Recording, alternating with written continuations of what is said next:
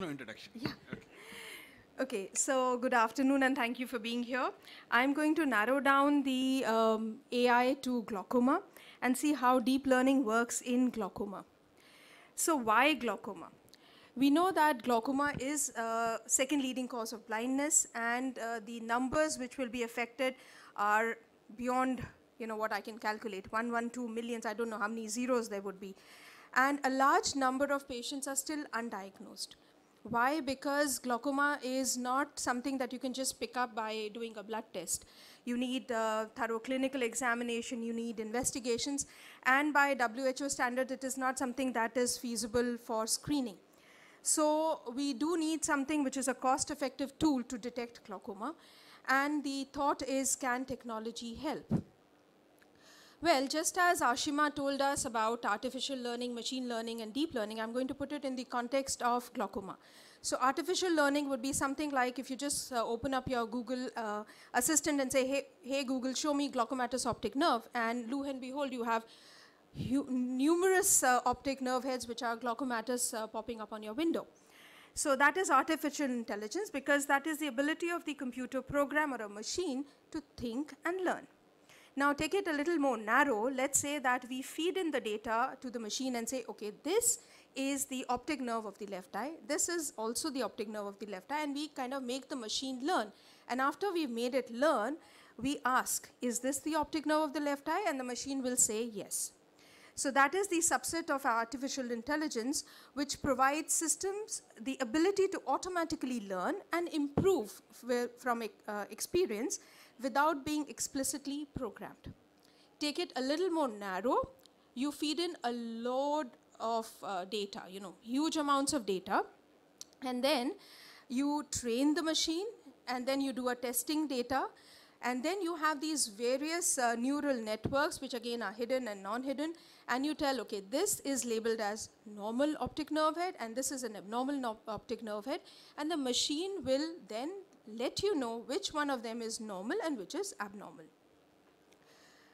So um, this diagram you've already seen. Now taking it up to the diagnosis of glaucoma. Now as we said, the glaucoma is a compilation of clinical examination data, functional data, structural tests, and more importantly, a gut feel.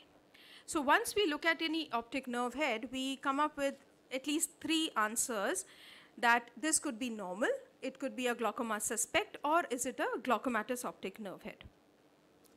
Now, we did a study wherein we used deep learning and we compared the deep learning with the glaucoma specialists, and uh, an algorithm was developed. This was based on the Inception V3 architecture and developed and trained in the TensorFlow.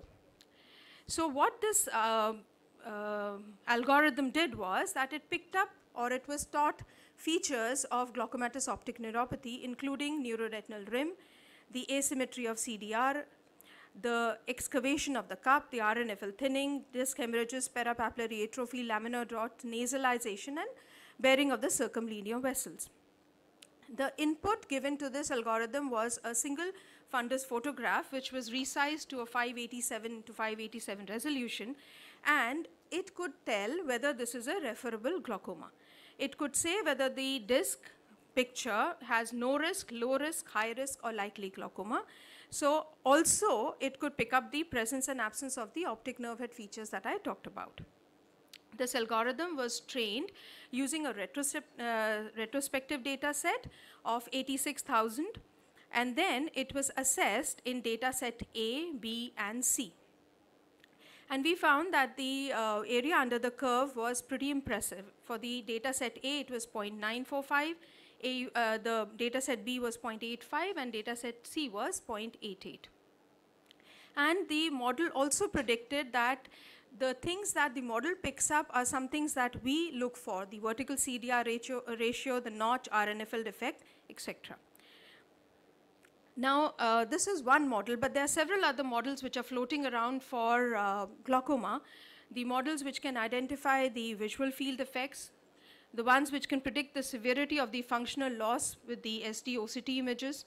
The gonioscopic angles can be, uh, uh, you know, it can be uh, based into uh, the uh, the angle closure images using ASOCT also and tools which can predict and achieve uh, target IOPs and clinical forecasting tools. Now, what are the advantages of uh, deep learning?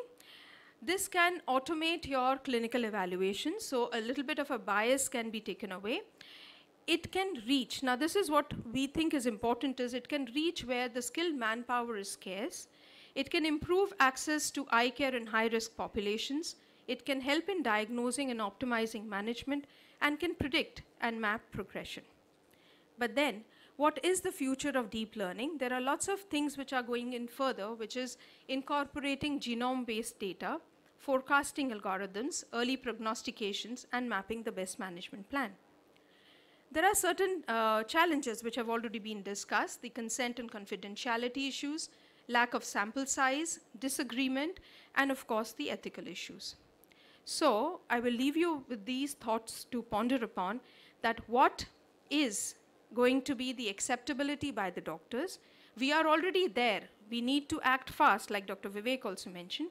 And also, what will be the reaction of the patients? Will the patient entrust clinical care to machines?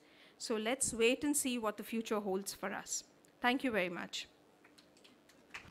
Thank you, Dr. Monica. Dr. Mukesh, please.